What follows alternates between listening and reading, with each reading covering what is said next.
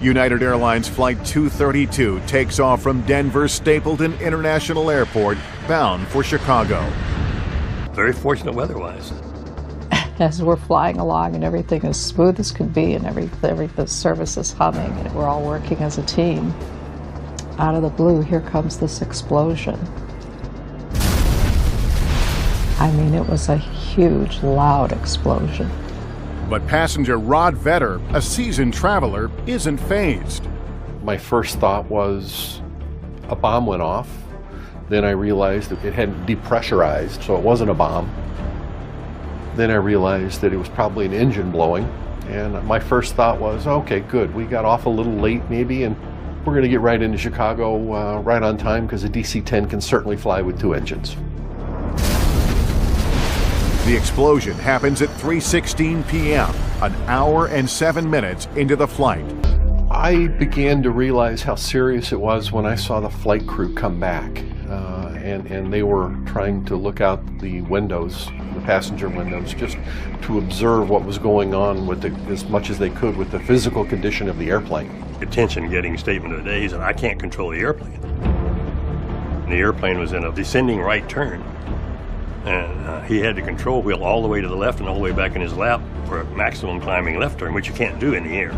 Controls can't move that far. And that's when I said, I've got it. With expert airmanship, Captain Haynes wrestles the plane back to a wings level position. Without its steering, that aircraft started to roll over on its back, and it would have continued to roll over and dive into the ground and be destroyed, except for the fact that at that moment, Al Haynes reached over and he advanced the throttle on the right wing and he retarded the throttle on the left wing. And that asymmetric thrust just picked the wing up very slowly and steadied the aircraft. But United 232 still has monumental problems.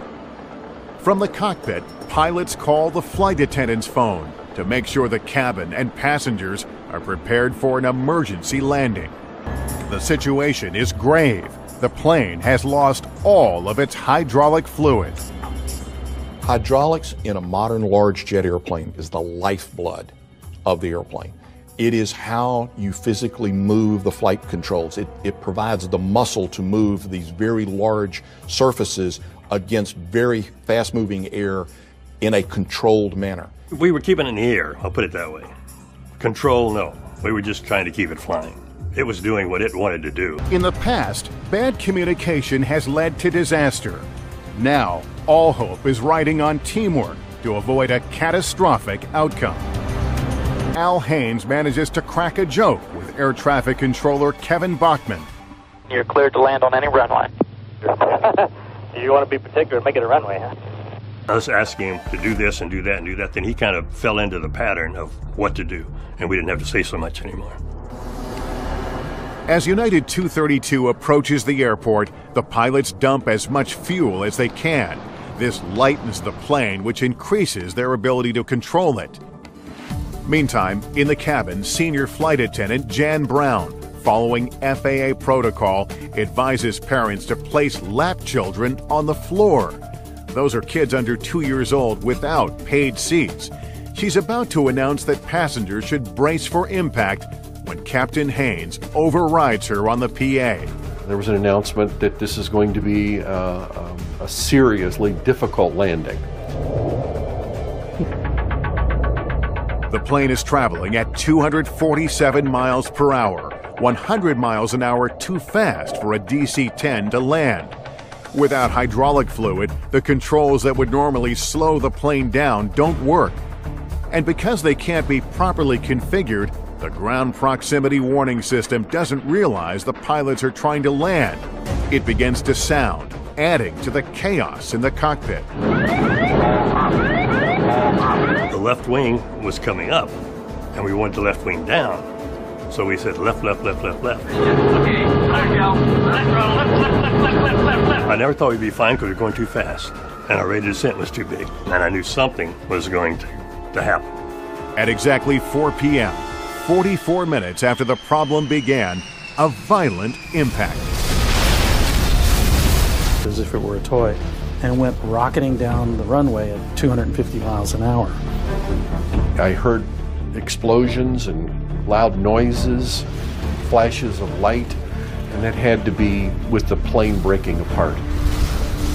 Al could have kept telling us that it would be rough, but I, I could never in my wildest dreams have imagined smashing into the earth the way we did.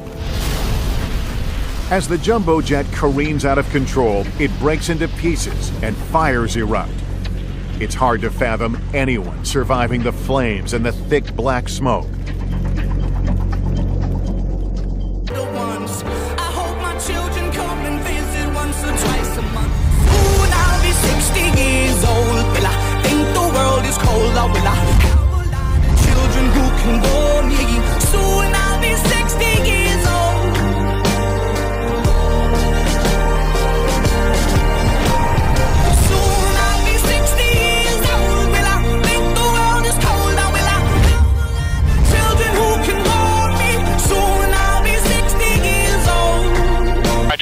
Yeah, that's a closed runway. That'll work, sir. We're getting the equipment off the runway, and they'll line up for that one. How long is it?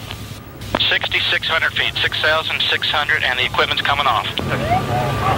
Isolate this.